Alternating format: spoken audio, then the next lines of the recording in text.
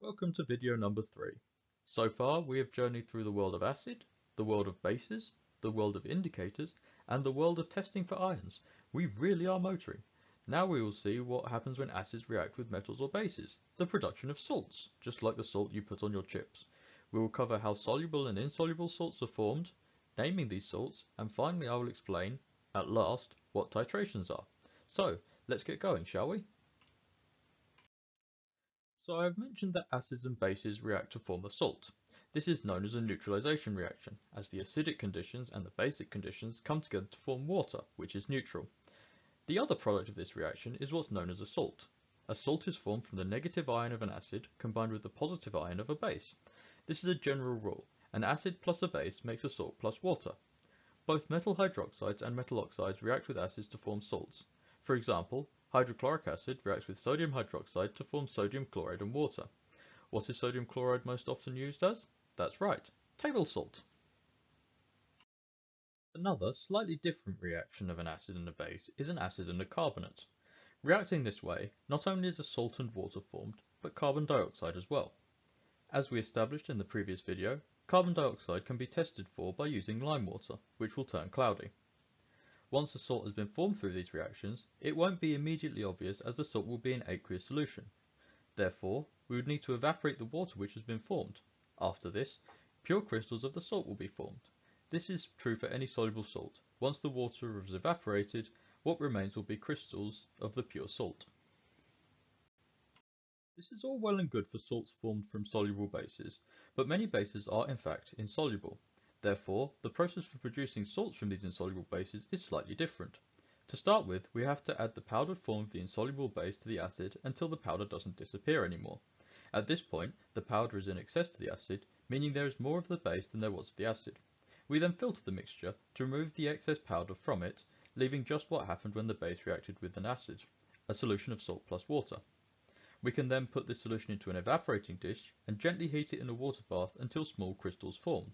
At this point, we can consider the mixture as saturated. If we then leave the mixture at room temperature for a few days, larger crystals will form. These can then be dried and are the pure form of the salt that we wanted to make. So that covers the production of soluble salts from soluble and insoluble bases, but there are also insoluble salts. To produce them, we use what is known as a precipitation reaction. This is where a precipitate is formed through a reaction. We've already encountered such a reaction in the test for sulfate ions forming a white precipitate. Forming an insoluble salt is very similar to this process. We react together two soluble salts and they react and form an insoluble salt. Once the insoluble salt is formed, it can be extracted by filtration, then washed and dried to obtain the pure form. When you're looking to create an insoluble salt, a good place to start is with nitrates. Every nitrate is soluble, so they make ideal starting points. Next up, let's name the salts that we make. Naming salts is pretty easy as long as the rules of naming are followed. The rules of naming are as follows. Firstly, we take the name of the metal we had in the base, for example, sodium, calcium, magnesium. Then we take the appropriate suffix from the type of acid we used. Using the three main acids we discussed in the first videos, we get the following suffixes. For hydrochloric acid, we have the suffix chloride. For sulfuric acid, we have the suffix sulfate, and for nitric acid, we have the suffix nitrate. It's worth mentioning here that the suffix chloride ends in "ide" and it contains no oxygen, where the other two suffixes end in "ate" and do contain oxygen. Using these rules we can predict the names of salts formed. For example, if barium hydroxide and sulfuric acid react together, we can predict that the salt formed will be barium sulfate. These rules extend even to weaker acids and different bases. Finally, I would like to talk about something I've referenced a few times across my videos, but not directly explained until now, titrations. Titrations are used in chemistry to ascertain the concentration of an unknown acid or base by slowly adding a known concentration of a base or acid respectively. This works on the principles of neutralization, which we have discussed, and indicators, which we have also discussed. An indicator shows us when a solution changes from one color to another, indicating that the unknown solution has been neutralized.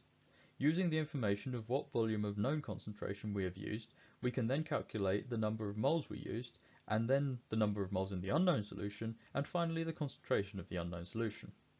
To start with, we put a known volume of the unknown solution into a conical flask with a little bit of indicator. We then place this flask onto a white tile so the colour change is more prominent. After that, we fill a burette with acid or alkali of known concentration so the meniscus rests on the 0 milliliter marking. Burettes are more accurate than pipettes when titrating, as they are graduated in milliliters.